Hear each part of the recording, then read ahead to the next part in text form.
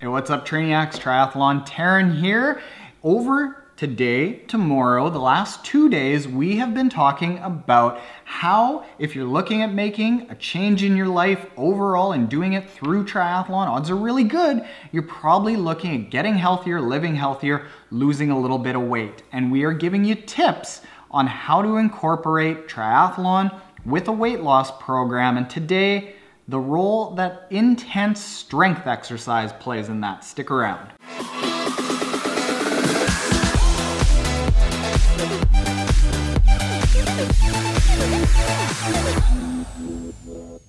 So in today's daily triathlon video, we are talking about the role of strength and intense cardio as far as fat and weight loss plays. Now, if you haven't done it yet, go to triathlontaren.com forward slash weight loss, and that's the accompanying free download that you can get that'll take you through all of these videos that we've put together and additional resources that'll help you dial in your exact weight loss strategy as a triathlete. But yesterday we talked about the role that like long, slow, steady workouts play in fat loss. That's the traditional just aerobic training for fat and weight loss. But today, we're gonna blow that all up and say, forget everything that I said yesterday. Strength training and intense cardio plays a huge, probably just as big a role as the low intensity work when it comes to weight loss. Now, as a quick refresher, we're talking about this on a scale of 1 to 10 for rate of perceived exertion.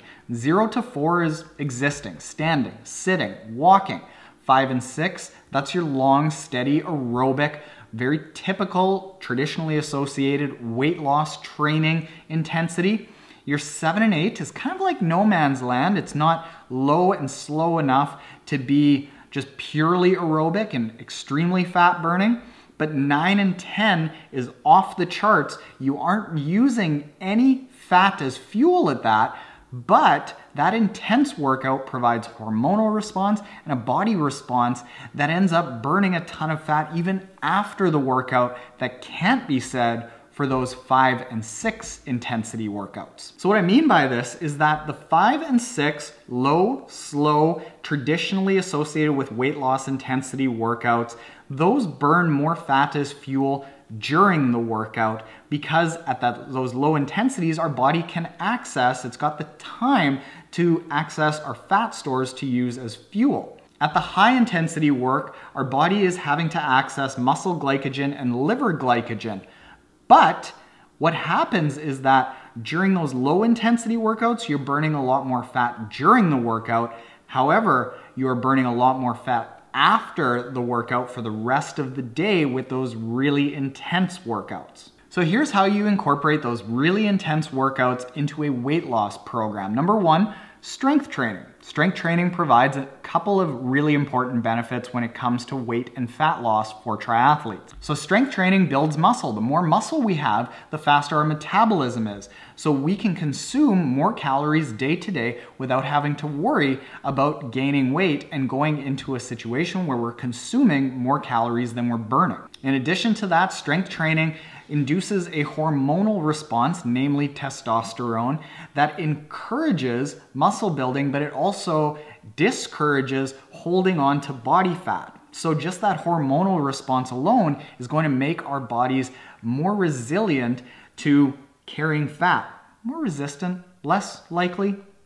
It's going to hold less fat. Now let's talk about high intensity interval training. Could be 50 meter sprints in the pool, could be 30 second bursts on the bike, could be interval runs, but when you start going really, really intense with traditional endurance training, but you're actually training more for strength and speed, what happens is we go into oxygen deprivation. We end up consuming more oxygen than we're actually taking in. And what happens in geek speak is a response called EPOC, E P O C. That is excess post exercise oxygen consumption. And this results in a boost of your metabolism long after, we're talking like a half a day to a full 24 hours after your intense exercise is over. So we continue to have our metabolism sped up after those really intense workouts.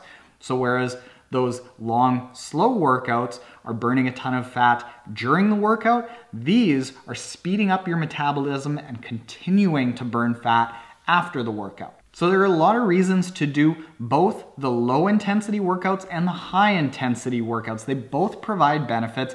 So this is why you hear about things like periodization, where you're changing up the intensities throughout the course of a year, and things like polarization, where people are doing all of their training at either either really low intensities or really high intensities and not that intensity in the middle that is no man's land. Now, if you go to triathlontaren.com forward slash weight loss, I talk about how you can structure a training plan to incorporate both that really low intensity workout and the really high intensity workout to get the benefits of both. So go there, throw in your email address, and accompanying with these videos, you're gonna know exactly how to approach weight loss as a triathlete. Tomorrow, we're gonna talk about my favorite foods that help encourage weight loss, favorite supplements, and things to avoid. And if you aren't already subscribed and you don't wanna miss that video, hit the subscribe button below. And if you are already subscribed, thank you as always for watching Excellent Trainiacs.